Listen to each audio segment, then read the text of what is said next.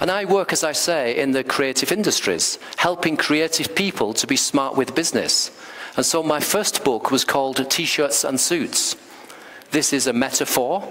T shirts representing the, the cool, creative people making computer games or films or animations, art or music.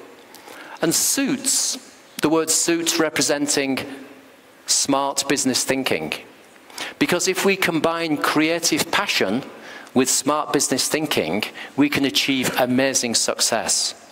And my book gives lots of examples about how businesses in those sectors can be smart with marketing and leadership and intellectual property and finance and business planning and business growth and other things.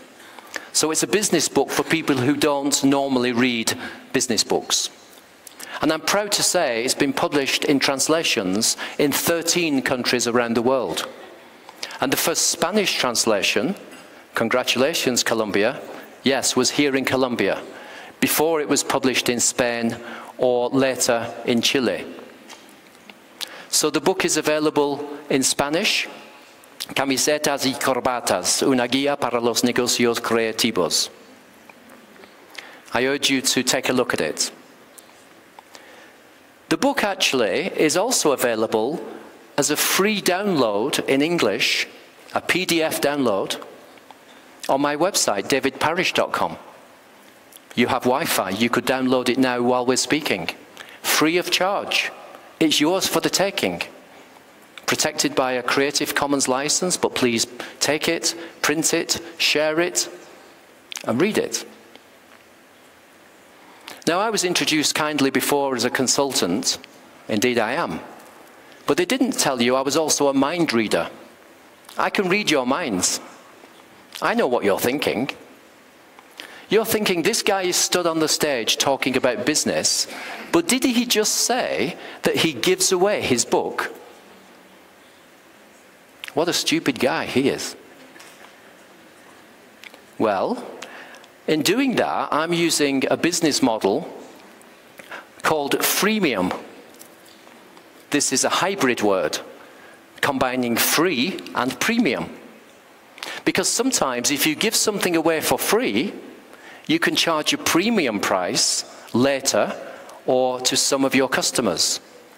So maybe you give away the software for free, but if you want to buy the manual to use it properly, you have to pay $100. And there are many examples of these kind of free samples or giving something away for free to make more money later. And in my case, I give away my book for free for two reasons which are not contradictory. The first, if it doesn't sound too grand, is that it's my gift to the world. I really want creative people to be smart with business. That's my passion and my mission.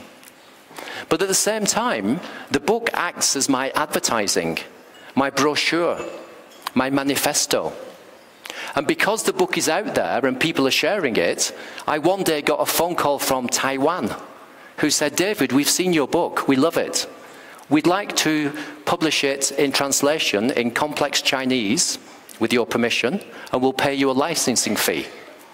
And we'd like to fly you to Taiwan, business class, to speak at a conference, and of course, we'll pay you handsomely. And while you're here, another organization wants you to deliver a workshop for young entrepreneurs, and they will pay you too. So by giving something away for free, I made a lot of money elsewhere. So maybe I'm not as stupid as I look.